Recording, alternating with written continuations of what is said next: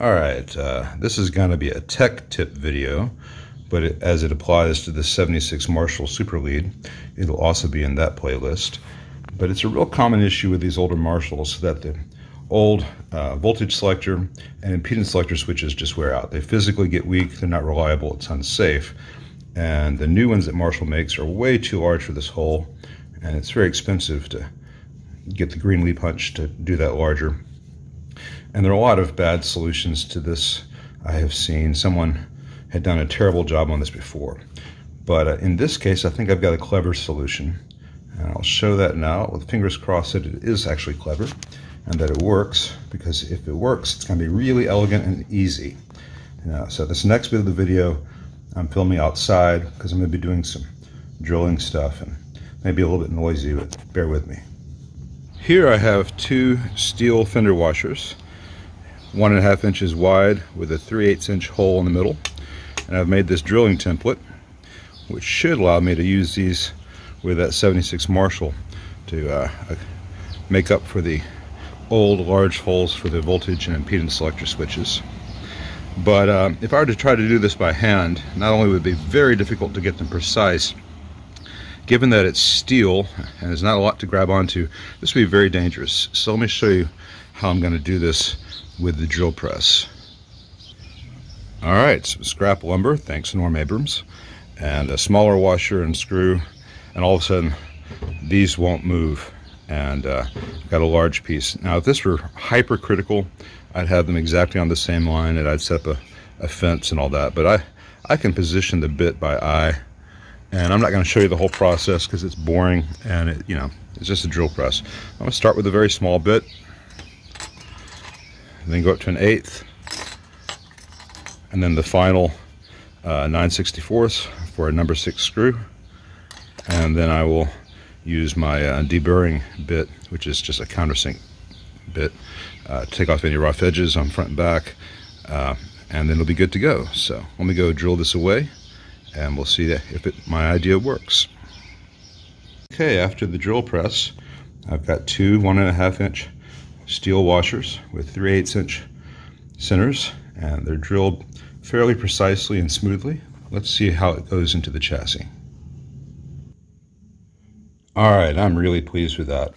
If you get the measurements right, and I'll give those to you in a minute so you can do it yourself, it's pretty much self-centering. So here I've got an impedance selector switch mounted. Much better than the crappy one that came in.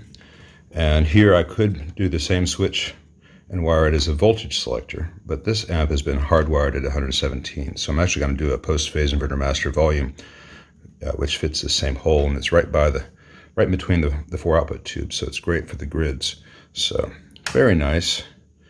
And uh, uh, normally I would label this so that it actually lines up precisely, but I think I have a suspicion this is the owner's handwriting, so let it be.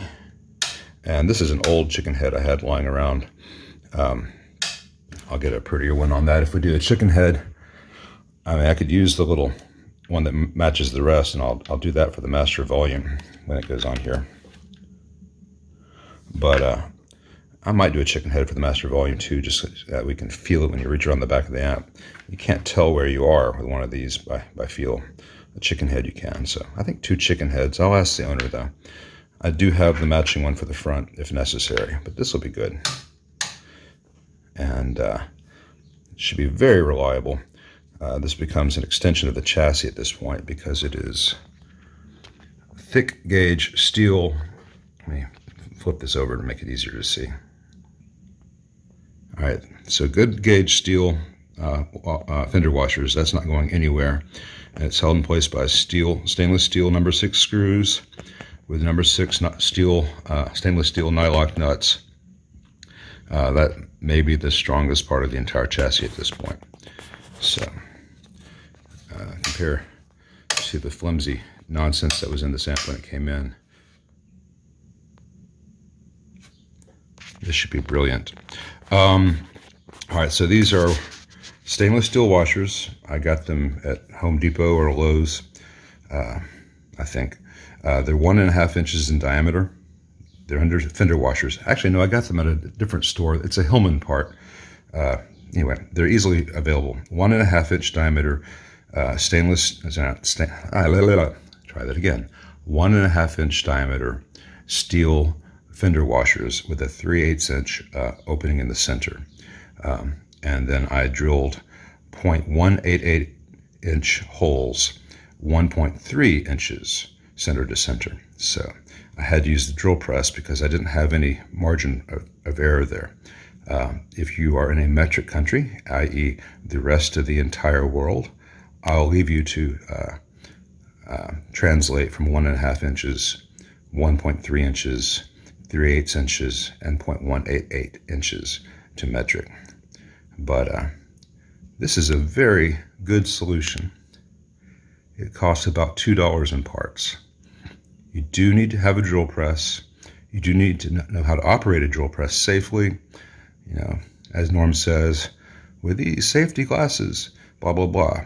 Um, so if you do this and you try to do it by hand or you don't know what you're doing and you put your eye out, uh, Ralphie's mom and I warned you.